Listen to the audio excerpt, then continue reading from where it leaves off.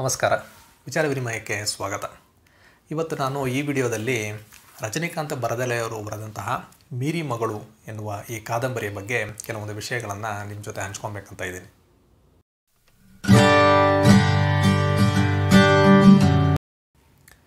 ಮೀರಿ ಮಗಳು. ಇದು ಒಂದು ಅಸ್ಸಾಮಿ ಕಾದಂಬರಿ. ಇದನ್ನು ಗುರುನಾಥ ಜೋಶಿಯವರು ಕನ್ನಡಕ್ಕೆ ಅನುವಾದ ಮಾಡಿದ್ದಾರೆ.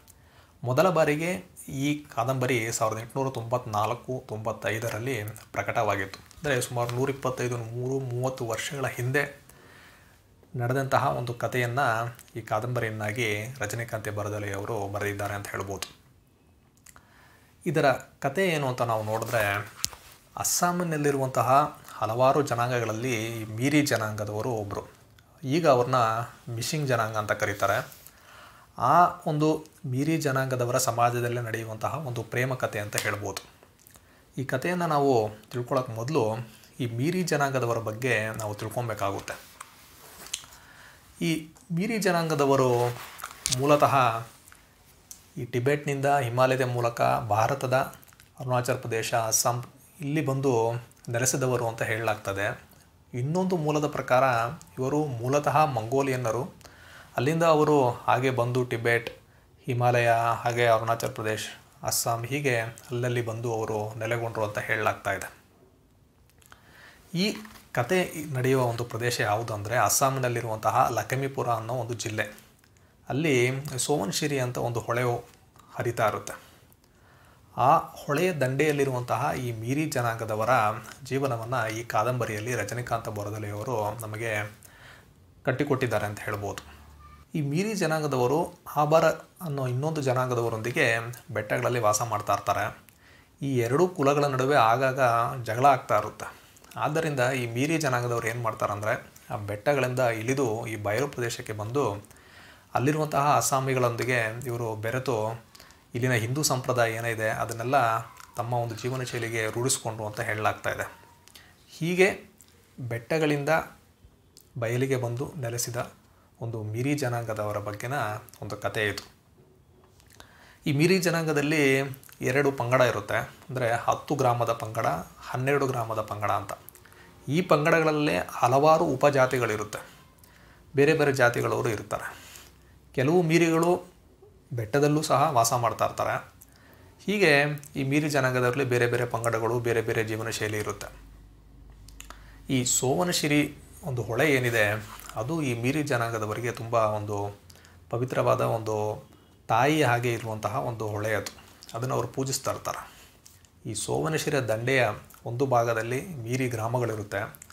ಮತ್ತೊಂದು ಕಡೆ ಕಾಡು. ಈ ಒಂದು ಅರಣ್ಯ ಪ್ರದೇಶಗಳನ್ನು ಈ ಮೀರಿ ಜನಾಂಗದವರು ಗದ್ದೆಗಳನ್ನಾಗಿ ಮಾಡಿಕೊಂಡು ಅಲ್ಲಿ ಕೆಲವೊಂದು ಬೆಳೆಗಳನ್ನೆಲ್ಲ ಬೆಳೀತಾ ಇರ್ತಾರೆ. ಗದ್ದೆನೆಲ್ಲ ಮಾಡ್ಕೊಂಡಿರ್ತಾರೆ. ಸೋವನಶಿರಿಯ ಹೊಳೆಯ ದಂಡೆಯಲ್ಲಿರುವಂತಹ ಮೀರಿ ಗ್ರಾಮಗಳ ಜನರು ತಮ್ಮ ಗದ್ದೆಗಳಿಗೆ ಹೋಗಲು ಅಥವಾ ಬೇರೆ ಕಡೆ ಹೋಗೋದಕ್ಕೆಲ್ಲ, ಬೇರೆ ಊರುಗಳಿಗೆ ಹೋಗೋದಕ್ಕೆ ಇದಕ್ಕೆಲ್ಲ ದೋಣಿಯನ್ನು ಬಳಸ್ತಾ ಇರ್ತಾರೆ ಅವರು. ಈ ಕತೆ ಶುರುವಾದಾಗ ಒಂದು ಗದ್ದೆಯಲ್ಲಿ ಒಬ್ಬ ಬಾಲಕ ಕುಳಿತಿದ್ದಾನೆ. ಸ್ವಲ್ಪ ದೂರದಲ್ಲಿರೋ ಮತ್ತೊಂದು ಗದ್ದೆಯಲ್ಲಿ ಒಬ್ಬಳು ಬಾಲಕಿ ಕುಳಿತಿರ್ತಾಳೆ ಈ ಬಾಲಕನಿಗೆ ಸುಮಾರು ಹದಿಮೂರು, ಹದಿನಾಲ್ಕು ವರ್ಷ ವಯಸ್ಸಾಗಿರಬಹುದು. ಅವನ ಹೆಸರು ಜಂಕಿ ಅಂತ. ಆ ಬಾಲಕಿಗೆ ಎಂಟು ಒಂಬತ್ತು ವರ್ಷ ವಯಸ್ಸಾಗಿರ್ಬೋದು. ಅವಳ ಹೆಸರು ಪಾನೇಯಿ ಅಂತ. ಇವರಿಬ್ಬರೇ ಈ ಕಾದಂಬರಿಯ ನಾಯಕ, ನಾಯಕಿ ಅಂತ ಹೇಳ್ಬೋದು. ಈ ಚಂಕಿ ಮತ್ತು ಪಾನೇಯಿ ಇವರು ಚಿಕ್ಕ ವಯಸ್ಸಿನಿಂದ ಸ್ನೇಹಿತರಾಗಿರ್ತಾರೆ. ಯಾವಾಗಲೂ ಜೊತೆಯಲ್ಲಿರ್ತಾರೆ, ಜೊತೆಯಲ್ಲಿ ಬೆಳೀತಾ ಇರ್ತಾರೆ. ಈ ಬಿಹು ಹಬ್ಬ ಅಂದರೆ ನಮ್ಮಲ್ಲಿ ಸಂಕ್ರಾಂತಿ ಅಂತೀವಲ್ಲ, ಆ ರೀತಿ ಅಸ್ಸಾಮಿನಲ್ಲಿ ಬಿಹು ಅಂತ ಒಂದು ಹಬ್ಬ ಮಾಡ್ತಾರೆ. ಬೇರೆ ಬೇರೆ ಬಿಹು ಇದೆ ಅವ್ರದ್ದು, ವೈಶಾಖ ಬಿಹು, ಕಾರ್ತಿಕ ಬಿಹು ಹೀಗೆ. ಈ ಬಿಹು ಹಬ್ಬ ಬಂದಾಗ ಇವರಿಬ್ಬರು ಜೊತೆಯಲ್ಲಿ ನೃತ್ಯ ಮಾಡೋದು, ಹಾಡು ಹೇಳೋದು, ಈ ಜಂಕಿ ಏನಿರ್ತಾನೆ ಅವನು ಕೆಲವು ವಾದ್ಯಗಳನ್ನು ನುಡಿಸ್ತಾ ಇರ್ತಾನೆ, ಈ ಕಹಳೆ, ತುತ್ತೂರಿ ಅಂಥದ್ದು. ಇವಳು ಹಾಡು ಹೇಳ್ತಾ ಇರ್ತಾಳೆ, ನೃತ್ಯ ಮಾಡ್ತಾ ಇರ್ತಾಳೆ. ಹೀಗೆ ಅವರು ಒಟ್ಟಿಗೆ ಬೆಳೀತಾರೆ. ಈಗ ಅವರು ತರುಣರಾಗಿದ್ದಾರೆ. ಇಂತಹ ಒಂದು ಪರಿಸ್ಥಿತಿಯಲ್ಲಿ ಏನಾಗುತ್ತಂದರೆ ಅವರ ಒಂದು, ಅಂದರೆ ಈ ಮೀರಿ ಜನರ ಒಂದು ಮುಖ್ಯ ಆಚರಣೆ ಏನು ಅಂದರೆ ಈ ನರಾಚಿಗ ಅಂತ ಒಂದು ಹಬ್ಬ ಇದೆ ಅವ್ರದ್ದು. ಅದನ್ನು ಒಂದು ಬಿಹು ಹಬ್ಬ. ಆ ಒಂದು ಹಬ್ಬ ನಡೀತಾ ಇರುತ್ತೆ. ಇದು ಒಂದು ಸಾಮೂಹಿಕವಾಗಿ ಇವರೆಲ್ಲರೂ ಒಂದು ಆಚರಿಸುವಂತಹ ಒಂದು ಹಬ್ಬ. ಆ ದಿನ ಇವರು ಈ ಧರ್ಮಗ್ರಹಗಳು ಅಂತ ಇರುತ್ತೆ. ಅಲ್ಲಿ ಹೋಗಿ ಸಾಮೂಹಿಕವಾಗಿ ಎಲ್ಲರೂ ಒಟ್ಟುಗೂಡಿ ಅಲ್ಲಿ ದೇವರಿಗೆ ಪೂಜೆ ಮಾಡಿ, ಅಲ್ಲಿ ಬಂದಂತಹ ಪುರೋಹಿತರ ಹತ್ರ ಮಾತಾಡಿ, ಅವರು ಕೊಡುವಂತಹ ಒಂದು ಪ್ರಸಾದವನ್ನು ಸ್ವೀಕರಿಸಿ ದೇವರಿಗೆ ಬಲಿ ಕೊಟ್ಟು ಇವರು ತೊಗೊಂಡೋಗಿರುವಂತಹ ಕೋಳಿ, ಹಂದಿ ಇದನ್ನೆಲ್ಲ ಬಲಿ ಕೊಡೋದು ಈ ರೀತಿ ತುಂಬ ವಿಜೃಂಭಣೆಯಿಂದ ನಡೆಯುವಂತಹ ಒಂದು ಹಬ್ಬ ಅದು. ಅಲ್ಲಿ ಈ ಊರಿನ ಹಿರಿಯರೆಲ್ಲರೂ ಸೇರಿರ್ತಾರೆ, ಈ ಯುವಕರು, ಯುವತಿಯರು ಇವರೆಲ್ಲ ಸೇರಿ ತುಂಬ ಸಂತೋಷದಿಂದ ಆಚರಿಸ್ತಾ ಇರ್ತಾರೆ. ಆ ಆ ರೀತಿಯ ಒಂದು ಹಬ್ಬದಲ್ಲಿ ಈ ಜಂಕಿ ಏನಿದ್ದಾನೆ ಅವನು ಪಾನೇಯಿ ಹತ್ರ ಮಾತಾಡಬೇಕು ಅಂತ ಪ್ರಯತ್ನ ಮಾಡ್ತಾನೆ. ಅವಳು ಒಬ್ಬಳೇ ಇದ್ದಾಗ ಅವಳ ಹತ್ರ ಹೋಗಿ ಹೇಳ್ತಾನೆ ನನ್ನ ಹತ್ರ ಮಾತಾಡಬೇಕು. ಆ ಸೋವನ್ಶಿರಿಯ ಮರಳ ದಂಡೆ ಇದೆಯಲ್ಲ, ಅಲ್ಲಿ ಬಾ ಅಂತ ಹೇಳ್ತಾನೆ. ಇವಳು ಅಲ್ಲಿ ಹೋಗ್ತಾಳೆ.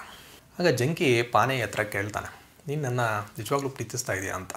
ಅವಳು, ಹೌದು, ಏಕೆ ಅಂತ ಕೇಳ್ತಾಳೆ, ಇಲ್ಲ, ಈ ನಡುವೆ ನಿನ್ನ ಒಲವು ಕಮುದನ ಕಡೆ ಇದೆ ಅಂತ ನನಗೆ ಅನ್ನಿಸ್ತಾ ಇದೆ, ಅಂತ ಅವನು ಹೇಳ್ತಾನೆ. ಇವಳು, ಬೇಸರ ಮಾಡ್ಕೊಳ್ತಾಳೆ, ಆ ಥರ ಎಲ್ಲ ಏನಿಲ್ಲ, ಅಂತ ಹೇಳ್ತಾಳೆ. ಇವನು ಅವಳನ್ನ ಸಮಾಧಾನ ಮಾಡ್ತಾನೆ, ಆಮೇಲೆ ಕೇಳ್ತಾನೆ ನಾವಿಬ್ಬರು ಮದುವೆ ಮಾಡ್ಕೊಳ್ಳೋಣ ಅಂತ. ಅವಳು, ಮಾಡ್ಕೊಳ್ಳೋಣ, ಅಂತ ಹೇಳ್ತಾಳೆ. ಆದರೆ ತಾನು ಒಬ್ಬ ಬಡವ, ನನಗೆ ಅಪ್ಪ, ಅಮ್ಮ ಯಾರೂ ಇಲ್ಲ ನನ್ನ ಹತ್ರ ಹಣಕಾಸು ಏನಿಲ್ಲ, ನಿಮ್ಮ ತಂದೆ ತಾಯಿ ನನ್ನ ಒಪ್ಕೊಳ್ತಾರಾ ಅಂತ ಕೇಳ್ತಾನೆ. ಆಗ ಈ ಪಾನೆ ಏನಂತಾರೆ ನೀನು ನಮ್ಮ ಒಂದು ಪದ್ಧತಿ ಪ್ರಕಾರ ಏನು ಕನ್ಯಾ ಶುಲ್ಕ ಇದೆ, ಅದನ್ನು ಕೊಡುವುದಕ್ಕೆ ಎಷ್ಟು ಹಣ ಬೇಕೋ ಅದನ್ನೆಲ್ಲ ಶೇಖರಣೆ ಮಾಡ್ಕೋ, ಅದಕ್ಕೆ ನೀನು ದುಡಿ ಅಂತ ಹೇಳ್ತಾಳೆ. ಇವನು ಸರಿ ಹಾಗೆ ಮಾಡ್ತೀನಿ ಅಂತ ಹೇಳ್ತಾನೆ. ಅವಳು ಏನು ಹೇಳ್ತಾಳೆ ಅಂದರೆ ನಾನು ನಮ್ಮ ದೇವತೆಗಳ ಮೇಲೆ ಆಣೆ ಮಾಡಿ ಹೇಳ್ತೀನಿ. ನೀನು ಬಂದು ನನ್ನ ಕರ್ಕೊಂಡು ಹೋಗೋವರೆಗೂ ನಾನು ಯಾರ ಹತ್ರನೂ ಹೋಗೋದಿಲ್ಲ, ಯಾರನ್ನೂ ಮದುವೆ ಮಾಡ್ಕೊಳ್ಳೋದಿಲ್ಲ ಅಂತ ಅವಳು ಪ್ರಮಾಣ ಮಾಡ್ತಾಳೆ. ಅವನಿಗೆ ಸಂತೋಷ ಆಗುತ್ತೆ. ಇಬ್ಬರು ಹೊರಡ್ತಾರೆ. ಈ ಪಾನೇಯಿಯ ತಂದೆ ತಾಯಿ, ಅವರ ಹೆಸರು ತಂದೆ ಹೆಸರು ತಾಮೇದ ಅಂತ, ತಾಯಿ ಹೆಸರು ನಿರಾಮ ಅಂತ. ಇವರು ತಮ್ಮ ಮಗಳಿಗೆ ಈಗ ವಯಸ್ಸಾಗಿದೆ, ಅವಳಿಗೆ ಮದುವೆ ಮಾಡಬೇಕು ಅಂತ ಮಾತಾಡ್ತಾ ಇರ್ತಾರೆ. ಆಗ ಪಾನೀಯ ತಾಯಿ ಏನು ಹೇಳ್ತಾಳೆ ಅಂದರೆ, ನಾವ್ಯಾಕೆ ಜಂಕಿಗೆ ನಮ್ಮ ಮಗಳನ್ನು ಕೊಟ್ಟು ಮದುವೆ ಮಾಡಬಾರ್ದು ಅಂತ ಕೇಳ್ತಾಳೆ. ಆಗ ಈ ತಾಮದೆ ಏನು ಹೇಳ್ತಾನಂದರೆ ಇಲ್ಲ, ಅವನು ಬಡವ, ಅವನಿಗೆ ತಂದೆ ತಾಯಿ ಯಾರೂ ಇಲ್ಲ, ಅವನಿಗೆ ಏಕೆ ನಮ್ಮ ಮಗಳನ್ನ ಕೊಡಬೇಕು ಅಂದ್ಬಿಟ್ಟು ಈ ಊರಿನ ಗಾಮ, ಅಂದರೆ ನಮ್ಮಲ್ಲಿ ಹೇಗೆ ಪಟೇಲರು ಶಾನ್ ಬಗ್ರು ಅಂತ ಇರ್ತಾರಲ್ಲ, ಆ ರೀತಿ ಆ ಊರಿಗೆ ಗಾಮ ಅನ್ನೋರು ಒಬ್ಬ ಇರ್ತಾನೆ. ಅವನ ಹೆಸರು ನಮೇನ ಅಂತ. ಅವನ ಮಗನೇ ಈ ಕಮುದ. ಇವನಿಗೆ ನಮ್ಮ ಮಗಳನ್ನ ಕೊಡಬೇಕು ಅಂತ ನಮ್ಮೇನ ನನ್ನ ಹತ್ರ ಕೇಳ್ತಾ ಇದ್ದಾನೆ. ಅದರಿಂದ ನಾವು ಕಮುದನಿಗೆ ಪಾನೆಯನ್ನು ಕೊಟ್ಟು ಮದುವೆ ಮಾಡೋದು ಒಳ್ಳೆಯದು ಅವ್ರ ಹತ್ರ ತುಂಬ ಹಣ ಇದೆ ಅಂತ ಹೇಳ್ತಾನೆ. ತಾಯಿಗೂ ಸಂತೋಷ ಆಗುತ್ತೆ. ಹೌದು ಅಂತ ಒಪ್ಕೊಳ್ತಾಳೆ. ವಿಷಯ ಪಾನೆಯಿಗೆ ಗೊತ್ತಾದಾಗ ಅವಳಿಗೆ ತುಂಬ ಬೇಸರ ಆಗುತ್ತೆ. ತಾಯಿ ಅವಳ ಹತ್ರ ಈ ವಿಷಯವನ್ನು ಹೇಳ್ತಾಳೆ. ನಿನಗೆ ಮದುವೆ ಸಿದ್ಧತೆ ಮಾಡ್ತಾ ಇದ್ದೀವಿ ಅಂತ ಹೇಳಿದಾಗ ಪಾನೇ ಏನು ಹೇಳ್ತಾಳೆ ಅಂದರೆ, ಅಮ್ಮ, ನನಗೆ ಇದೆಲ್ಲ ಇಷ್ಟ ಇಲ್ಲ. ಈಗಲೇ ನನಗೆ ಮದುವೆ ಬೇಡ. ನಾನು ಎಲ್ಲೂ ಹೋಗೋದಿಲ್ಲ ಅಂತ ಹೇಳ್ತಾಳೆ. ಇವ್ರು ಏನು ಅಂದ್ಕೊಳ್ತಾಳೆ ಅಂದರೆ ನಮ್ಮನ್ನು ಬಿಟ್ಟು ಹೋಗೋಕ್ಕೆ ಆಗಲ್ಲ ಅನ್ನೋದಕ್ಕೋಸ್ಕರ ಈ ಥರ ಹೇಳ್ತಾ ಇದ್ದಾಳೆ ಅಂತ ಸಮಾಧಾನ ಮಾಡ್ತಾಳೆ. ಅವಳು ಹೇಳ್ತಾಳೆ, ಇಲ್ಲ, ನಾನು ಎಲ್ಲೂ ಹೋಗೋದಿಲ್ಲ ಅಂತ. ಇವರು ಮದುವೆ ಸಿದ್ಧತೆಗಳಿಗೆ ಶುರು ಮಾಡ್ತಾರೆ. ಸ್ವಲ್ಪ ದಿನಗಳ ನಂತರ ಏನಾಗುತ್ತಂದರೆ, ಈ ಪಾನೇಯಿ ತನ್ನ ಗೆಳತಿಯರೊಂದಿಗೆ ದೋಣಿಯಲ್ಲಿ ಹೋಗ್ತಾ ಇರ್ತಾಳೆ. ಅಂದರೆ ಗದ್ದೆಯಿಂದ ಕೆಲಸ ಮುಗಿಸ್ಕೊಂಡು ಬರ್ತಾ ಇರ್ತಾರೆ ಅವರು. ಅವರು ಹೀಗೆ ಮಾತಾಡ್ತಾ ಬರ್ತಾ ಇರ್ತಾರೆ, ಮದುವೆ ವಿಚಾರ ಎಲ್ಲ ಮಾತಾಡ್ಕೊಂಡು ಬರ್ತಾ ಇರ್ತಾರೆ. ಆಗ ಮತ್ತೊಂದು ದೋಣಿಯಲ್ಲಿ ನಮ್ಮ ಜಂಕಿ ಬರ್ತಾ ಇರ್ತಾನೆ. ಅವನ್ನ ನೋಡಿ ಈ ಹುಡುಗಿಯರವನ್ನು ಮಾತಾಡಿಸ್ತಾರೆ. ಆಗ ಜಂಕಿ ಒಂದು ವಿಷಯವನ್ನು ಹೇಳ್ತಾರೆ ನಾಳೆ ನಾನು ನಮ್ಮ ಈ ಸೋವನ್ಶ್ರೀ ಗ್ರಾಮವನ್ನು ಬಿಟ್ಟು ಗೂಣಾಸೋತಿ ಅಂತ ಒಂದು ಗ್ರಾಮ ಇರುತ್ತೆ. ಅಲ್ಲಿ ನಮ್ಮ ಚಿಕ್ಕಮ್ಮ ಇದ್ದಾರೆ, ನಾನು ಅಲ್ಲಿಗೆ ಹೊರಟೋಗ್ತಾ ಇದ್ದೀನಿ ಅಂತ ಹೇಳ್ತಾನೆ. ಆಗ ಹುಡುಗಿಯರು ಕೇಳ್ತಾರೆ, ಯಾಕೆ ಏನಾಯಿತು ಅಂತ? ಆಗ ಅವನು ಹೇಳ್ತಾನೆ, ಇಷ್ಟು ದಿನ ನಾನು ಕಮುದನ ಮನೆಯಲ್ಲಿದ್ದೆ ಅವನ ಜೊತೆ, ಆದರೆ ಈಗ ಅವನು ಯಾಕೋ ನನ್ನ ಜೊತೆ ಆಗಾಗ ಜಗಳ ಎಲ್ಲ ಮಾಡ್ತಾ ಇದ್ದಾನೆ ಅದರಿಂದ ನಾನು ಅವನ ಜೊತೆ ಇರೋದು ಬೇಡ ಅಂತ ನನ್ನ ಚಿಕ್ಕಮ್ಮನ ಮನೆಗೆ ಹೋಗ್ತಾ ಇದ್ದೀನಿ ಅಂತ ಹೇಳ್ತಾನೆ. ವಿಷಯ ಕೇಳಿಸ್ಕೊಂಡು ಪಾನೇಯಿ ಜಂಕಿ ಹತ್ರ ಹೇಳ್ತಾಳೆ ನಾನು ಹತ್ರ ಸ್ವಲ್ಪ ಮಾತಾಡಬೇಕು, ನಾಳೆ ನನಗೆ ಸಿಗ್ತೀಯಾ ಅಂತ. ಅವನು ಸರಿ ಅಂತ ಹೇಳ್ತಾನೆ. ಮಾರನೇ ದಿನ ಜಂಕಿ ತಾನು ಈ ಗ್ರಾಮವನ್ನು ಬಿಟ್ಟು ಗುಣಸುಂತಿ ಅನ್ನೋ ಒಂದು ಗ್ರಾಮಕ್ಕೆ ಹೊರಡಬೇಕು ಅಂತ ದೋಣಿಯಲ್ಲಿ ಹೋಗ್ತಾ ಇರ್ತಾನೆ. ಅವನು ಹೋಗೋದಕ್ಕೆ ಮುಂಚೆ ಪಾನೆಯನ್ನೇ ಒಮ್ಮೆ ಭೇಟಿ ಮಾಡಿ ಹೋಗಬೇಕು ಅಂತ ಅವಳು ಇರುವ ಗದ್ದೆಗೆ ಹೋಗ್ತಾನೆ.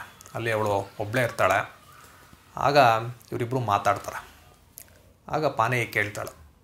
ನೀನು ನನಗೆ ಕೊಡಬೇಕಾಗಿರುವ ಕನ್ಯಾ ಶುಲ್ಕ ಏನಿದೆ? ಅದನ್ನೆಲ್ಲ ಶೇಖರಣೆ ಮಾಡಿದೀಯಾ ಅಂತ. ಅವನು ಹೇಳ್ತಾನೆ, ನಾನು ಎರಡು ಕೋಡಿ, ಅಂದರೆ ಸುಮಾರು ನಲ್ವತ್ತು ರೂಪಾಯಿ. ಅಷ್ಟು ಸಂಪಾದನೆ ಮಾಡಿದ್ದೀನಿ. ಇನ್ನೂ ಸ್ವಲ್ಪ ಹಣವನ್ನು ಇನ್ನೊಂದು ಎರಡು ಕೋಟಿ ಸಂಪಾದನೆ ಮಾಡ್ಕೊಂಡು ಬಂದು ನಾನು ನಿಮ್ಮ ತಂದೆ ತಾಯಿ ಹತ್ರ ಮಾತಾಡಿ ನಿನ್ನ ಮದುವೆ ಮಾಡಿ ಕರ್ಕೊಂಡು ಹೋಗ್ತೀನಿ ಅಂತ ಹೇಳ್ತಾರೆ ಈ ಅಸ್ಸಾಂನ ಬೀರಿ ಜನಾಂಗದವರಲ್ಲಿ ಕನ್ಯಾ ಶುಲ್ಕ ಕೊಡೋದು ಒಂದು ವಾಡಿಕೆ ಅವರದು ಅಂದರೆ ಕನಿಷ್ಠ ಒಂದು ಮೂರು ಕೋಡಿ ಕೊಡಬೇಕಾಗುತ್ತೆ. ಅಂದರೆ ಒಂದು ಅರವತ್ತು ರೂಪಾಯಿ. ಅಲ್ಲಿಂದ ಗರಿಷ್ಠ ಒಂದು ಇನ್ನೂರು ಮುನ್ನೂರು ರೂಪಾಯಿವರೆಗೂ ಕೊಡ್ಬೋದು. ಈ ರೀತಿಯ ಒಂದು ವಾಡಿಕೆ ಅವ್ರದ್ದು. ಯಾರು ಈ ಕನ್ಯಾ ಶುಲ್ಕವನ್ನು ಕೊಡೋಕ್ಕೆ ಆಗಲ್ವೋ ಅವರು ಒಂದು ಎರಡು ವರ್ಷ ತಮ್ಮ ಮಾವನ ಮನೆಯಲ್ಲಿ ದುಡಿಬೇಕಾಗಿರುತ್ತೆ. ಇದು ಅವರ ಒಂದು ಸಂಪ್ರದಾಯ. ಸೊ ಅದಕ್ಕಾಗಿ ಈ ಜಂಕೆ ಏನು ಮಾಡ್ತಾನೆ, ಪಾನೆಯನ್ನು ಮದುವೆ ಮಾಡಬೇಕಂದ್ರೆ ಕನ್ಯಾ ಶುಲ್ಕ ಕೊಡಬೇಕು ಅನ್ನೋದಕ್ಕೋಸ್ಕರ ಅವನು ಹಣವನ್ನು ದುಡಿದು ಶೇಖರಣೆ ಮಾಡ್ತಾ ಇರ್ತಾನೆ. ಸರಿ ಅಂತ ಜಂಕಿ ಹತ್ರ ಪಾನೆ ಏನು ಹೇಳ್ತಾನೆ ಅಂದರೆ, ನೀನು ಬಂದು ಕರ್ಕೊಂಡು ಹೋಗೋವರೆಗೂ ನಾನು ಯಾರ ಹತ್ರನೂ ಹೋಗೋದಿಲ್ಲ. ಈಗ ನಮ್ಮ ಮನೆಯಲ್ಲಿ ನನ್ನನ್ನು ಕಮುದನಿಗೆ ಕೊಟ್ಟು ಮದುವೆ ಮಾಡೋದಕ್ಕೆ ಒತ್ತಾಯ ಮಾಡ್ತಾ ಇದ್ದಾರೆ. ಒಂದು ಎರಡು ತಿಂಗಳಲ್ಲಿ ಅವನು ನನ್ನ ಮದುವೆ ಮಾಡ್ಕೊಳಕ್ಕೆ ಬರ್ತಾನಂತೆ ಅಂತ ಹೇಳ್ತಾಳೆ. ಅವನು, ಬಂದರೆ ನೀನು ಏನು ಮಾಡ್ತೀಯ ಅಂತ ಇವನು ಕೇಳ್ತಾನೆ. ಅವಳು ಹೇಳ್ತಾಳೆ ತುಂಬ ಒತ್ತಾಯ ಮಾಡಿದೆ, ನಾನು ವಿಷ ಸತ್ತು ಸತ್ತೋಗ್ತೀನಿ ಅಂತ ಹೇಳ್ತಾಳೆ. ಇವನು, ಸರಿ ನೀನೇನು ಯೋಚನೆ ಮಾಡಬೇಡ, ನಾನೆಲ್ಲ ಹಣ ಎಲ್ಲ ದುಡ್ಕೊಂಡು ಬರ್ತೀನಿ ಅಂತ ಹೇಳಿಬಿಟ್ಟು ಅಲ್ಲಿಂದ ಹೊರಡ್ತಾನೆ. ಅವಳಿಗೆ ಇವನು ಊರು ಬಿಟ್ಟು ಹೋಗ್ತಾ ಇದ್ದಾನು ಅಂತ ಬೇಸರ ಆಗುತ್ತೆ. ಆದರೂ ಒಳ್ಳೆಯದಾಗಲಿ ಅಂತ ಹೇಳಿ ಕಳಿಸ್ತಾಳೆ. ಈ ರೀತಿ ಇರಬೇಕಾದ್ರೆ ಒಂದು ದಿನ ಕಮುದನ ತಂದೆಯಾದ ನಮೇನ ಅವನು ಪಾನೆ ಮನೆಗೆ ಬರ್ತಾನೆ. ಅವರ ತಂದೆ ತಾಯಿ ಹತ್ರ ಮಾತಾಡ್ತಾನೆ. ಸ್ವಲ್ಪ ಹಣವನ್ನು ಕೊಟ್ಟು ಅವನೇನು ಹೇಳ್ತಾನೆ ಅಂದರೆ ಮದುವೆಗೆ ಸಿದ್ಧತೆ ಮಾಡಿ ಅಂತ ಹೇಳ್ತಾನೆ. ಇದಾದ ಒಂದು ಆರೇಳು ದಿನಗಳ ನಂತರ ಈ ಕಮುದ ಪಾನೆಯ ಮನೆಗೆ ಬರ್ತಾನೆ. ಈ ಬೀರಿ ಜನಾಂಗದವರ ಸಂಪ್ರದಾಯದಂತೆ ಕೆಲವೊಂದು ಆಚರಣೆಗಳನ್ನು ಮಾಡಿ ಅವನು ತನ್ನ ಅಳಿಯತನವನ್ನು ಅಲ್ಲಿ ಶುರು ಮಾಡ್ತಾನೆ. ಅಂದರೆ ಈ ಪಾನೆಯ ಮನೆಯಲ್ಲಿ ಅವನು ಉಳ್ಕೋಬೇಕಾಗುತ್ತೆ. ಅವರ ಒಂದು ಸಂಪ್ರದಾಯದ ಪ್ರಕಾರ. ಆದರೆ ಪಾನೇಯಿಗೆ ಇದು ಇಷ್ಟ ಆಗೋದಿಲ್ಲ. ಅವಳು ಕಮೋದನಿಂದ ದೂರನೇ ಉಳ್ಕೊಳ್ತಾಳೆ, ಸರಿಯಾಗಿ ಮಾತಾಡೋದಿಲ್ಲ. ಈ ರೀತಿ ಇರುತ್ತೆ. ವಿಷಯ ಅವ್ರ ತಂದೆ ತಾಯಿ ಗೊತ್ತಾದಾಗ ಅವ್ರಿಗೆ ಬೇಸರ ಆಗುತ್ತೆ. ಅವರು ಪಾನೆಗೆ ಹೇಳ್ತಾರೆ. ನೋಡು, ಕಮುದ ಒಳ್ಳೆ ಹುಡುಗ, ತುಂಬ ಹಣ ಎಲ್ಲ ಇದೆ ಅವ್ರ ಹತ್ರ. ಅರ್ಥ ಮಾಡ್ಕೋ, ನೀನು ಅಲ್ಲಿ ಮದುವೆ ಮಾಡಿಕೊಂಡ್ರೆ ಚೆನ್ನಾಗಿರ್ಬೋದು ಅಂತ ಅವಳಿಗೆ ಬುದ್ಧಿವಾದ ಹೇಳ್ತಾರೆ. ಆದರೆ ಅವಳಿಗೆ ಎಷ್ಟು ಹೇಳಿದ್ರೂ ಅವಳು ತನ್ನ ಮನಸ್ಸನ್ನು ಬದಲಾಯಿಸೋದಿಲ್ಲ. ಹೀಗೆ ಹೋಗ್ತಾ ಇರಬೇಕಾದ್ರೆ ಕಮುದನಿಗೂ ಬೇಸರ ಆಗುತ್ತೆ. ಅವನು ಏನು ಹೇಳ್ತಾನಂದರೆ, ಈ ರೀತಿ ನಾನು ಮದುವೆಯಾಗಿ ನನಗೇನು ಸುಖ ಸಿಗುತ್ತೆ, ನೀವು ನನ್ನ ಹಣವನ್ನು ವಾಪಸ್ ಕೊಟ್ಬಿಡಿ ಅಂತ ಕೇಳ್ತಾನೆ. ಇದರಿಂದ ಅವರ ತಂದೆ ತಾಯಿಗೆ ಇನ್ನೂ ಬೇಸರ ಆಗುತ್ತೆ. ಅವ್ರೇನು ಅಂದ್ಕೊಳ್ತಾನಂದರೆ ಇವಳನ್ನ ನಾವು ಹೇಗಾದರೂ ಒತ್ತಾಯ ಮಾಡಿ ಕಮುದನಿಗೆ ಕೊಟ್ಟು ಮದುವೆ ಮಾಡಬೇಕು ಅಂತ ಅವರು ನಿರ್ಧಾರ ಮಾಡ್ತಾರೆ. ಇದು ಪಾನೆಗೆ ಗೊತ್ತಾದಾಗ ಅವಳಿಗೆ ತುಂಬ ಭಯ ಮತ್ತು ಬೇಸರ ಆಗುತ್ತೆ. ಪಾನಿ ತುಂಬ ಹಠ ಮಾಡ್ತಾರೆ ನೋಡಿ ಅವರ ತಾಯಿ ಕೇಳ್ತಾರೆ ಯಾಕೆ ಈ ಥರ ಮಾಡ್ತಾ ಇದೆಯಾ? ಯಾಕೆ ಮದುವೆ ಬೇಡ ಅಂತ ಇದೆಯಾ ಅಂತ. ಆಗ ಅವಳು ಏನು ಹೇಳ್ತಾಳೆ ಅಂದರೆ, ನೀವು ನನ್ನ ಜಂಕಿಗೆ ಮದುವೆ ಮಾಡಿಸಿದ್ರೆ ನಾನು ಮದುವೆ ಆಗ್ತೀನಿ ಅಂತ ಹೇಳ್ತಾಳೆ. ಅದನ್ನು ಕೇಳಿ ಅವ್ರ ತಂದೆಗೆ ತುಂಬ ಕೋಪ ಬರುತ್ತೆ. ತಂದೆ ತಾಯಿ ಇಲ್ಲ, ಹಣ ಇಲ್ಲ, ಅವನ್ನ ಮದುವೆ ಆಗ್ತೀನಿ ಅಂತೀಯಲ್ಲ ನೀನು ಅಂತ ಬೈತಾರೆ. ಇಲ್ಲಿ ಗುಣಾಸುಂತಿ ಗ್ರಾಮಕ್ಕೆ ಹೋದಂತಹ ಜಂಕಿ ಆ ಜನರ ನಡುವೆ ಬದುಕ್ತಾ ಇರ್ತಾನೆ. ಅವನು ಎಂದಿನಂತೆ ಬಿಹು ಹಬ್ಬ ಬಂದಾಗ ನೃತ್ಯ ಮಾಡೋದು ಹಾಡು ಹೇಳೋದು ತುತ್ತೂರಿ, ಕಾಳೆ ಮುಂತಾದ ವಾದ್ಯಗಳನ್ನು ನುಡಿಸೋದು, ಹೀಗೆ ಅವನು ಜೀವನ ಮಾಡ್ತಾ ಇರ್ತಾನೆ. ಅವನ ಕಂಡ್ರೆ ಎಲ್ರಿಗೂ ಇಷ್ಟ. ಆ ಒಂದು ಊರಿನ ಗಾಮನ ಮಗಳು ಡಾಲಿಮಿ ಅಂತ. ಅವಳಿಗೆ ಸುಮಾರು ಒಂದು ಹದಿಮೂರು, ಹದಿನಾಲ್ಕು ವರ್ಷ ವಯಸ್ಸಾಗಿರ್ಬೋದು. ಅವಳಿಗೆ ಈ ಜಂಕಿಯ ಮೇಲೆ ಒಂದು ಆಕರ್ಷಣೆ ಉಂಟಾಗುತ್ತೆ. ಈ ಜಂಕಿ ಏನಂದರೆ, ಅವನಿಗೆ ಯಾವಾಗಲೂ ಪಾನೀಯನ ನೆನೆಸ್ಕೊಂಡು ಅವನು ಬೇಸರ ಮಾಡ್ಕೊಳ್ತಾ ಇರ್ತಾನೆ. ಅವನು ಪ್ರತಿದಿನ ಸೋನ್ಶಿರಿ ಹೊಳೆಯ ದಂಡೆಗೆ ಹೋಗೋದು, ಅಲ್ಲಿ ಕೂತ್ಕೊಂಡು ಯೋಚನೆ ಮಾಡ್ತಾ ಇರೋದು, ಈ ರೀತಿ ಮಾಡ್ತಾ ಇರ್ತಾನೆ. ಒಂದಿನ ಅವನು ಹೀಗೆ ದಂಡೆಯ ಮೇಲೆ ಕುಳಿತಿರ್ಬೇಕಾದ್ರೆ ಈ ಡಾಲೆಮಿ ಅನ್ನೋಳು ಅವನ ಹತ್ರ ಬಂದು ಮಾತಾಡ್ತಾಳೆ.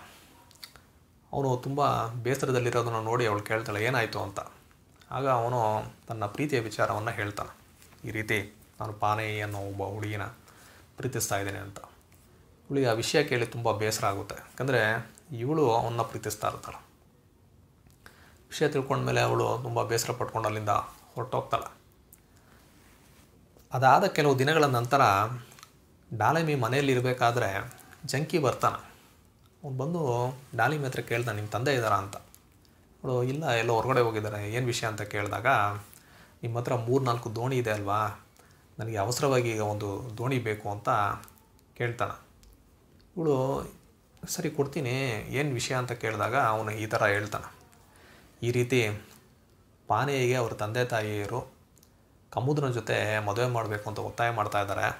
ಅವಳು ನನಗೆ ಒಂದು ಸುದ್ದಿಯನ್ನು ಕಳಿಸಿದ್ದಾಳೆ.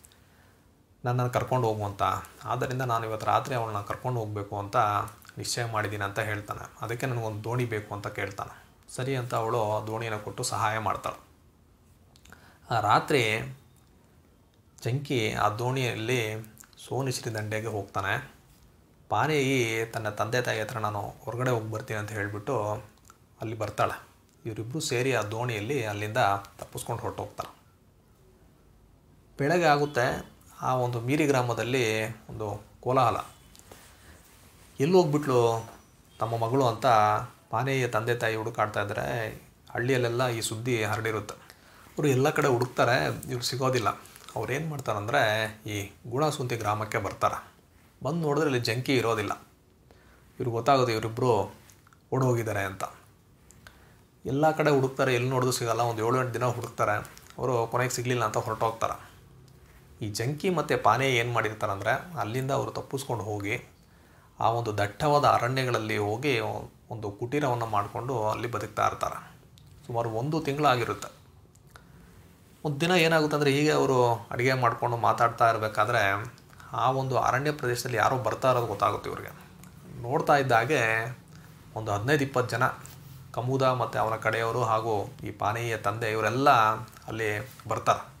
ಕಮುದನ ಕಡೆಯವರು ಈ ಚಂಕಿಯ ಮೇಲೆ ಒಂದು ಹಲ್ಲೆ ಮಾಡ್ತಾರೆ, ಇಬ್ರಿಗೂ ಜಗಳ ಆಗುತ್ತೆ ಹೊಡೆದಾಡ್ತಾರೆ ಆಗ ಸ್ವಲ್ಪ ಹೊತ್ತಿನ ನಂತರ ಅಲ್ಲಿ ಈ ಗುಣಸೂತಿ ಗ್ರಾಮದ ಕಡೆಯವರೆಲ್ಲ ಬರ್ತಾರೆ. ಡಾಲಿಮಿ ತಂದೆ ಮತ್ತು ಇನ್ನೂ ಕೆಲವರೆಲ್ಲ ಬರ್ತಾರೆ. ಆಗ ಇವ್ರು ಹೇಳ್ತಾರೆ, ಯಾಕೆ ಈ ಥರ ಮಾಡ್ತಾಯಿದ್ರೆ ಯಾಕೆ ಅವನು ಹೊಡಿತಾ ಇದ್ದೀರಾ? ಇದೆಲ್ಲ ತಪ್ಪು ಅಂತ ಹೇಳ್ಬಿಟ್ಟು ಅವರು ಎಲ್ಲರೂ ಕರ್ಕೊಂಡು ಈ ಗುಣಸುಂತಿ ಗ್ರಾಮಕ್ಕೆ ಬರ್ತಾರೆ. ಅಲ್ಲಿ ಪಂಚಾಯತಿನ ಸೇರಿಸ್ತಾರೆ ಅಲ್ಲಿ. ಆದರೆ ಅಲ್ಲಿ ಏನೂ ನಿರ್ಣಯ ಆಗೋದಿಲ್ಲ. ನಂತರ ಏನಾಗುತ್ತಂದರೆ, ಈ ಲಕ್ಷ್ಮೀಪುರ ಅನ್ನೋ ಒಂದು ಜಿಲ್ಲೆ ಏನಿದೆ, ಅಲ್ಲಿನ ಮ್ಯಾಜಿಸ್ಟ್ರೇಟ್ ಅವ್ರ ಹತ್ರ ಇವರು ಈ ಒಂದು ವಿಷಯವನ್ನು ತೊಗೊಂಡು ಹೋಗ್ತಾರೆ. ಏನು ಹೇಳ್ತಾರಂದರೆ ಪಾನೀಯ ತಂದೆ ತಾಯಿ ಮತ್ತು ಕಮುದ ಏನು ಹೇಳ್ತಾರಂದರೆ, ಈ ಜಂಕಿ ಅನ್ನೋನು ಪಾನೇಯಿನ ಅಪಹರಣ ಮಾಡ್ಕೊಂಡು ಹೋಗಿದ್ದಾನೆ ಅಂತ ಹೇಳ್ತಾರೆ. ಆಗ ಪಾನಿ ಏನು ಹೇಳ್ತಾನೆ ಅಂದರೆ ಇವರು ಸುಳ್ಳು ಹೇಳ್ತಾ ಇದ್ದಾರೆ ನಾನೇ ಅವನ ಜೊತೆ ಹೋದೆ ಅಂತ ಹೇಳ್ತಾಳೆ. ಆಗ ಮ್ಯಾಜಿಸ್ಟ್ರೇಟ್ ಏನು ಮಾಡ್ತಾರಂದರೆ, ಈ ಅಪಹರಣ ಅನ್ನೋದೆಲ್ಲ ಸುಳ್ಳು, ನೀವೇನು ಮಾಡಿ ಅಂದರೆ, ಯಾವುದೇ ಒತ್ತಾಯ ಮಾಡಬಾರ್ದು. ನಿಮ್ಮ ಮಗಳು ಏನಿದ್ದಾಳೆ, ಅವಳು ನಿಮ್ಮ ಜೊತೆಲೇ ಇರಲಿ, ಜಂಕಿ ಅವನ ಮನೇಲೇ ಇರಲಿ ನೀವು ಮತ್ತೆ ಇತ್ಯರ್ಥ ಮಾಡ್ಕೊಳ್ಳಿ ಅಂತ ಹೇಳಿ ಅಲ್ಲಿಂದ ಕಳಿಸ್ಬಿಡ್ತಾರೆ. ಇವನು ಅಂದರೆ ಪಾನಿ ತಂದೆ ಏನು ಹೇಳ್ತಾನೆ ಅಂದರೆ ನಾನು ನಮ್ಮ ಪಂಚಾಯತಿಯಲ್ಲಿ ನೋಡ್ಕೊಳ್ತೀನಿ ಅಂತ ಹೇಳ್ಬಿಟ್ಟು ಕರ್ಕೊಂಡು ಹೊರಟೋಗ್ತಾನೆ. ಚಂಕಿ ಗುಣಸುಂತಿಯಲ್ಲಿ ತಮ್ಮ ಚಿಕ್ಕಮ್ಮನ ಮನೆಯಲ್ಲಿರ್ತಾನೆ ಈ ಕಡೆ ಪಾನೇಯಿ ತನ್ನ ತಂದೆ ತಾಯಿಯ ಮನೆಯಲ್ಲಿ ಇರ್ತಾಳೆ. ಒಂದು ತಿಂಗಳು ಕಳೆಯುತ್ತೆ. ಇವರು ಎಷ್ಟೋ ಹೇಳ್ತಾರೆ ಅವಳಿಗೆ. ನೋಡು ನಿನ್ನ ಕಮ್ಮುದನ್ನ ಮದುವೆ ಮಾಡ್ಕೋ. ಚೆನ್ನಾಗಿತ್ತೆ ಯಾಕೆ ಈ ಥರ ಹಠ ಮಾಡ್ತಾ ಇದೆಯಾ ಅಂತ. ಅವಳು ಏನು ಹೇಳಿದ್ರು ಒಪ್ಕೊಳ್ಳೋದಿಲ್ಲ. ಅವಳು ಏನು ಹೇಳ್ತಾಳೆ ಅಂದರೆ, ನಾನು ಚಂಕಿನ ಮದುವೆ ಮಾಡ್ಕೊಳ್ತೀನಿ. ನನಗೆ ಅವನ ಜೊತೆ ಮದುವೆ ಮಾಡಿಸಿ ಅಂತ ಹೇಳ್ತಾಳೆ. ಅವ್ರ ತಂದೆಗೆ ತುಂಬ ಕೋಪ ಬರುತ್ತೆ. ಈ ರೀತಿ ಇರಬೇಕಾದ್ರೆ, ಈ ಕಮೂದ ಮತ್ತು ಅವನ ತಂದೆ ಏನು ಹೇಳ್ತಾರಂದರೆ ನೀವು ಮದುವೆಗಿದ್ವೆಲ್ಲ ಏನು ಬೇಡ. ಅವಳನ್ನ ಕೈ ಕಾಲು ಕಟ್ಟಿ ತೊಗೊಂಬಂದು ನಮ್ಮ ಮನೆಗೆ ಬಿಟ್ಬಿಡಿ ಅಂತ ಹೇಳ್ತಾರೆ ಈ ರೀತಿ ಒಂದು ಒಳಸಂಚು ನಡೀತಾ ಇರೋದು ಪಾನೇ ಗೊತ್ತಾಗುತ್ತೆ. ಅವಳು ಏನು ಮಾಡ್ತಾಳೆ ಅಂದರೆ, ಇನ್ನೂ ಇಲ್ಲಿದ್ದರೆ ಆಗೋದಿಲ್ಲ ಅಂದ್ಬಿಟ್ಟು ಮತ್ತೆ ಮನೆ ಬಿಟ್ಟು ಓಡೋಗ್ತಾಳು ಅವಳು. ಅವಳು ಈ ಬಾರಿ ಏನಾಗುತ್ತೆ ಅಂದರೆ ಅವಳು ಚಂಕಿ ಹತ್ರ ಹೋಗೋದಿಲ್ಲ. ನೇರವಾಗಿ ಅರಣ್ಯದೊಳಗೆ ಹೊರಟೋಗ್ತಾಳು ಅವಳು. ಮತ್ತು ವಿಷಯ ಈ ಊರಿನವ್ರಿಗೆಲ್ಲ ಮತ್ತು ಪಾನೀಯ ತಂದೆ ತಾಯಿ ಗೊತ್ತಾದಾಗ ಅವರು ಮತ್ತೆ ಈಗ ಜಂಕಿ ಇರುವಂತಹ ಗುಣಸುಂತಿ ಗ್ರಾಮಕ್ಕೆ ಬರ್ತಾರೆ. ನೋಡಿದ್ರೆ ಜಂಕಿ ಅಲ್ಲೇ ಇದ್ದಾನೆ, ಕೇಳ್ತಾರೆ ಅವರು. ಎಲ್ಲಿಟ್ಟಿದೆ ಅವಳನ್ನ ಹೇಳು ಅಂತ. ಅವನು ಹೇಳ್ತಾನೆ, ನನಗೇನು ಗೊತ್ತೇ ಇಲ್ಲ, ನೀವು ಹೇಳಿದ್ಮೇಲೆ ನನಗೆ ಗೊತ್ತಾಗಿರೋದು ನಾನು ಒಂದು ತಿಂಗಳಿಂದ ಮನೇಲೇ ಇದ್ದೀನಿ, ಎಲ್ಲೂ ಹೋಗಿಲ್ಲ ಅಂತ ಹೇಳ್ತಾನೆ. ಆ ಗ್ರಾಮದವರು ಸಹ ಹೇಳ್ತಾರೆ, ಹೌದು, ಇವನು ಇಲ್ಲೇ ಇದ್ದ, ಎಲ್ಲೂ ಹೋಗಿಲ್ಲ ಅಂತ. ಚಂಕಿಗೆ ಬೇಸರ ಆಗುತ್ತೆ ಪಾನಿ ಎಲ್ಲೂ ಹೋಗ್ಬಿಟ್ಲು ಅಂತ, ಏನು ಮಾಡ್ಕೊಂಡ್ಲು ಏನು ಅಂತ ಅವನು ಗಾಬರಿ ಅವನೇನು ಮಾಡ್ತಾನೆ, ಒಂದು ನಿರ್ಧಾರ ಮಾಡ್ತಾನೆ. ತನ್ನಲ್ಲಿರುವ ಹಣ ಎಲ್ಲನೂ ತೊಗೊಂಡು ಅವನು ಇವನ್ನ ಹುಡುಕ್ಬೇಕು ಅಂತ ಹೊರಡ್ತಾನೆ. ಡಾಲಿಮಿ ಸಿಗ್ತಾಳೆ, ಅವಳ ಹತ್ರ ಇವನು ಹೇಳ್ತಾನೆ, ಅವಳು ಸಿಕ್ಕಿದ್ರೆ ನಾನು ಕರ್ಕೊಂಬರ್ತೀನಿ, ಇಲ್ಲ ಅಂದರೆ ನಾನು ಎಲ್ಲರೂ ಹೊರಟೋಗ್ತೀನಿ, ಇಲ್ಲ ಸತ್ತೋಗ್ತೀನಿ ಅಂತ ಹೇಳ್ತಾನೆ. ಅವಳು ಆ ಥರ ಎಲ್ಲ ನೀನು ಮಾಡಬೇಡ. ಅವಳು ಸಿಗ್ತಾಳೆ, ನೀನು ಹೋಗಿ ಕರ್ಕೊಂಬ ಅಂತ ಧೈರ್ಯ ಹೇಳಿ ಕಳಿಸ್ತಾಳೆ. ಜಂಕಿ ಏನು ಮಾಡ್ತಾನೆ ಅಂದರೆ ನೇರವಾಗಿ ಈ ಪಾನೀಯ ತಂದೆ ತಾಯಿ ಹತ್ರ ಬರ್ತಾನೆ. ಅವ್ರು ಹೇಳ್ತಾರೆ ಎಲ್ಲಿಟ್ಟಿದೆ ನನ್ನ ಮಗಳನ್ನ ಹೇಳು. ಈ ಥರ ಮಾಡಬೇಡ. ನಾನು ಬೇಕಾದ್ರೆ ನಿನಗೆ ಕೊಟ್ಟು ಮದುವೆ ಮಾಡ್ತೀನಿ. ನಿಜ ಹೇಳು, ಎಲ್ಲಿದ್ದಾಳೆ ಅಂತ. ಅವ್ನು ಹೇಳ್ತಾನೆ, ಏನು ಸತ್ಯವಾಗ್ಲೂ ನನಗೆ ಗೊತ್ತಿಲ್ಲ. ನಾನು ಒಂದು ತಿಂಗಳಿಂದ ಮನೆಯಲ್ಲೇ ಇದ್ದೀನಿ. ಅವಳು ಎಲ್ಲೋದ್ಲೋ ಗೊತ್ತಿಲ್ಲ. ಆದರೆ ನಾನು ಖಂಡಿತವಾಗ್ಲೂ ಅವಳನ್ನ ಹುಡ್ಕೊಂಬರ್ತೀನಿ ನೀವು ಸ್ವಲ್ಪ ದೊಡ್ಡ ಮನ್ಸು ಮಾಡಿ ನಮ್ಮಿಬ್ರಿಗೂ ಮದುವೆ ಮಾಡಿಸಿ ಅಂತ ಕೇಳ್ಕೊಳ್ತಾನೆ. ಅವರು ಸರಿ ಅಂತ ಒಪ್ಕೊಳ್ತಾರೆ. ಸರಿ, ನಾನು ಅವನ್ನ ಹುಡ್ಕೊಂಬರ್ತೀನಿ ಅಂತ ಹೇಳಿಬಿಟ್ಟು ಅವನು ಈ ಪಾನೆಯನ್ನು ಹುಡ್ಕೊಂಡು ಹೊರಡ್ತಾನೆ. ಅವನು ಹೀಗೆ ಅರಣ್ಯದಲ್ಲಿ ಪ್ರಯಾಣ ಬೆಳೆಸ್ತಾ ಇರ್ತಾನೆ, ಹಲವಾರು ದಿನಗಳ ಪ್ರಯಾಣ.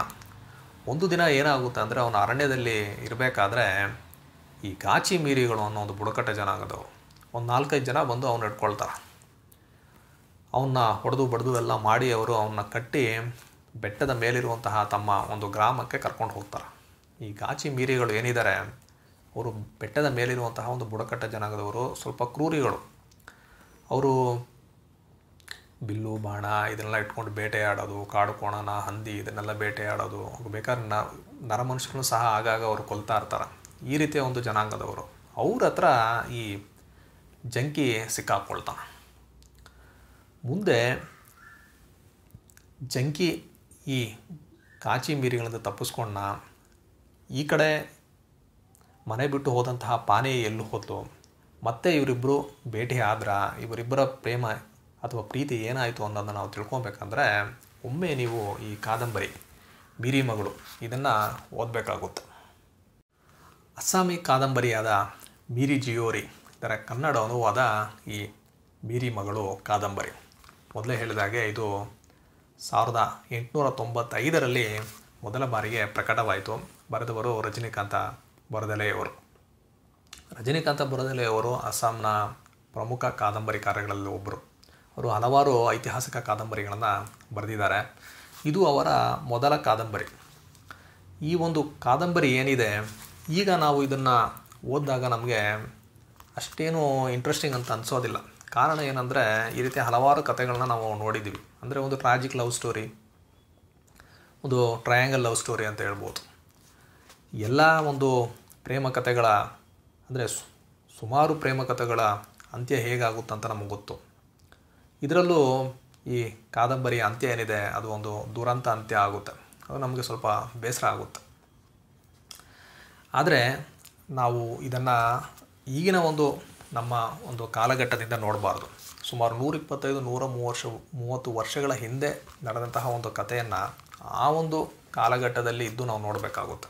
ಯಾಕಂದರೆ ಈ ಕಾದಂಬರಿ ಬಂದಾಗ ಸಾಹಿತ್ಯದಲ್ಲಿ ಈ ಕಾದಂಬರಿಯ ಪ್ರಕಾರ ಏನಿದೆ, ಅದು ಆಗ ತಾನೇ ಹೊಸದಾಗಿ ಬಂದಂತಹ ಒಂದು ಪ್ರಕಾರ ಅದು. ಆ ಸಮಯದಲ್ಲಿ ಬರೆದಂತಹ ಒಂದು ಕಾದಂಬರಿ.